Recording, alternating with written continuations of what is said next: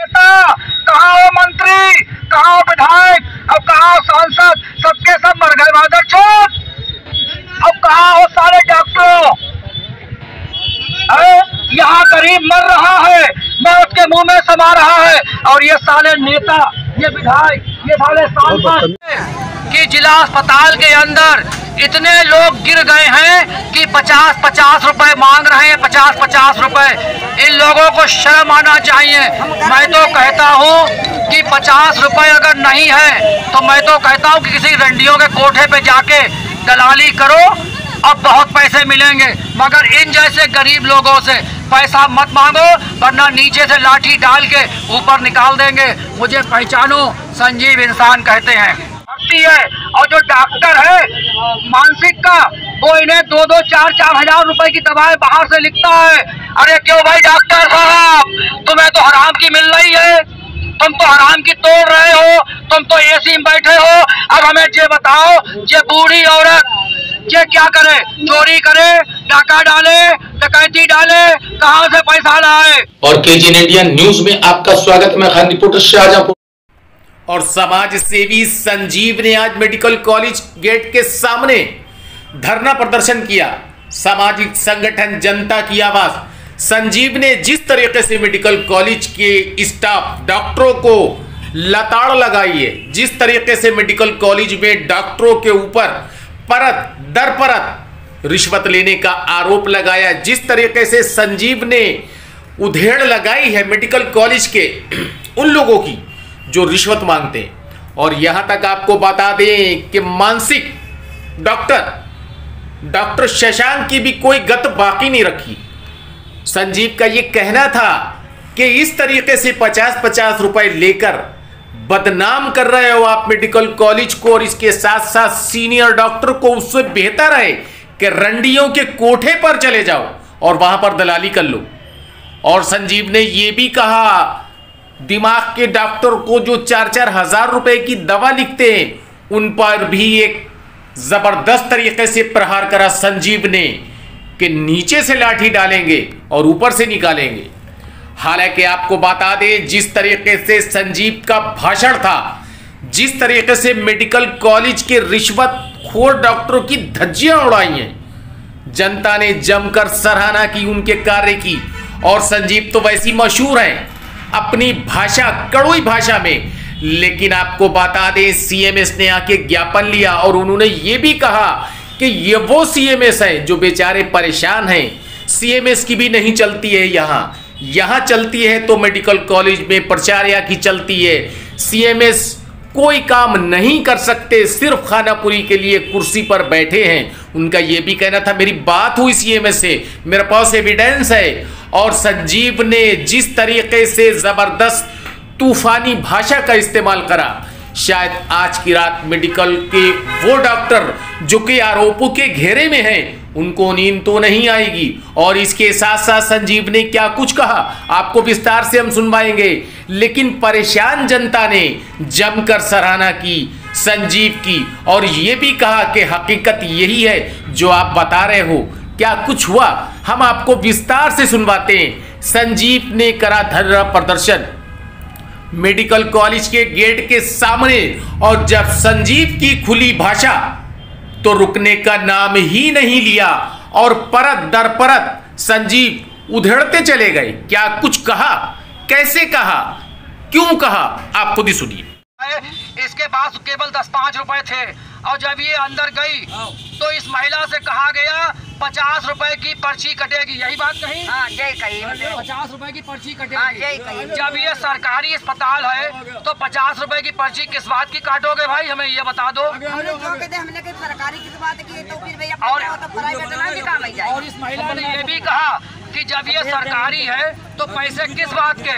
अगर पैसे ही होते तो प्राइवेट में जाते। अब आप ये देख लीजिए। जिलाधिकारी महोदय जिलाधिकारी महोदय जिलाधिकारी महोदय, कि जिला अस्पताल के अंदर इतने लोग गिर गए हैं कि पचास पचास रुपए मांग रहे हैं पचास पचास रुपए। इन लोगों को शर्म आना चाहिए। मैं तो कहता हूँ कि पचास रुपए अगर नहीं है तो मैं तो कहता हूँ कि किसी रंडियों के कोठे पे जाके दलाली करो ताऊ कि किसी रंडियों के कोठे पे जाके दलाली करो अब बहुत पैसे मिलेंगे मगर इन जैसे गरीब लोगों से पैसा मत मांगो। वरना नीचे से लाठी डाल के ऊपर निकाल देंगे। मुझे वरना नीचे से लाठी डाल के ऊपर निकाल देंगे। मुझे पहचानो संजीव इंसान कहते को देखो और इसके हालात देखो। ये ज़िंदगी और मौत से जूझ रही है मगर यहाँ के डॉक्टरों को और जिला और जिला मेडिकल कॉलेज के अफसरों को शर्म नहीं आती। डूब के मर जाओ चुल्लू भर पानी में। अगर पानी ना मिले तो किसी गंदी नाली में डूब के मर जाना हराम जादो में। अगर पानी ना मिले तो किसी गंदी नाली में डूब के मर जाना हराम जादो। यह जिला अस्पताल नहीं है यह शमशान घाट है। यहाँ लोग इलाज कराने आते हैं मगर मौत के मुँह में समा जाते हैं। आप बैठिए आप यहीं बैठिए। प्रदीप कुमार नाम है जो जिला मेडिकल हॉस्पिटल में भर्ती है और जो डॉक्टर है मानसिक का और जो डॉक्टर है मानसिक का और जो डॉक्टर है मानसिक का वो इन्हें दो दो, चार चार हज़ार रुपए की दवाएँ बाहर से लिखता है। अरे क्यों भाई डॉक्टर साहब? तुम्हें तो हराम की मिल रही है। अरे क्यों भाई डॉक्टर साहब? तुम्हें तो हराम की मिल रही है। अरे क्यों भाई डॉक्टर साहब? तुम्हें तो हराम की मिल रही है। तुम तो हराम की तोड़ रहे हो। तुम तो एसी में बैठे हो। अब हमें ये बताओ, ये बूढ़ी औरत ये क्या करे? चोरी करे डाका डाले डकैती डाले कहाँ से पैसा लाए? मेरा ससुर नहीं है मेरा आदमी नहीं है। और इसका कोई नहीं है। डॉक्टर साहब शर्म करो। डूब मरो चुल्लू भर पानी में। अब पानी ना मिले तो किसी गंदी नाली के गटर में डूब के मर जाओ। कहाँ मंत्री कहाँ विधायक अब कहाँ सांसद सबके सब मर गए मादर चौथ कहाँ मंत्री कहाँ विधायक अब कहाँ सांसद सबके सब मर गए मादर चौथ अब कहाँ हो सारे डॉक्टरों अरे यहाँ गरीब मर रहा है मौत के मुँह में समा रहा है। और ये साले नेता, ये विधायक, ये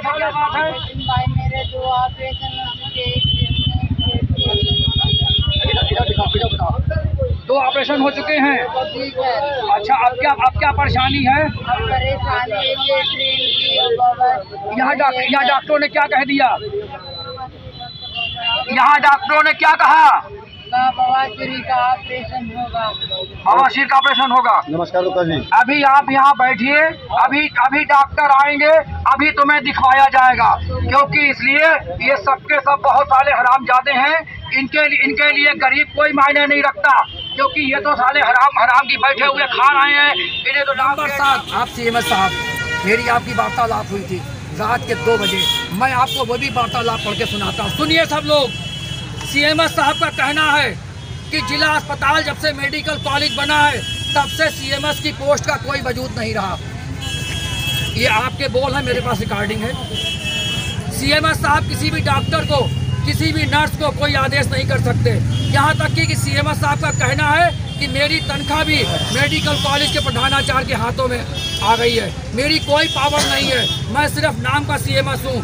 ये बात सीएमएस साहब ने मुझसे फ़ोन पर लगभग रात के बारह बजे कही जब मैंने उन्हें मरीज़ को एडमिट करने के लिए फ़ोन किया। इसकी मेरे पास रिकॉर्डिंग है। शर्म आना चाहिए प्रधानाचार्य के लिए।